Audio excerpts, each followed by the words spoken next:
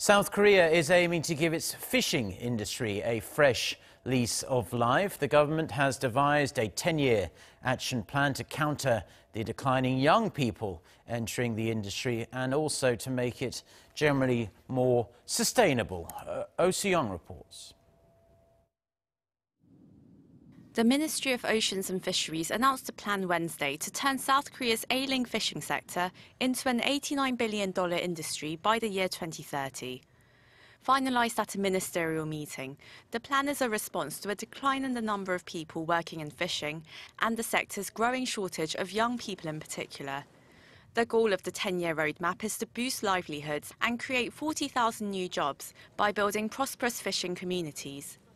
This involves a drive to renovate some 80 ports and harbours in the country starting this year, and by 2022 to modernise 300 fishing towns and ports.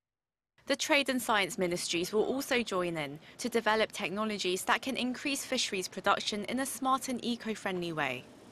A management system for coastal fishing will also be established, as will more effective ways to prevent the overfishing of certain species and illegal fishing by creating a sustainable flow of production and consumption. The government will also nurture 100 local companies with the aim of creating some $3.4 billion worth of fisheries exports. With the plan, the government hopes to raise the industry's total annual revenue from the $59 billion recorded in 2016 to $89 billion by 2030. Oh Soo-young Arirang News.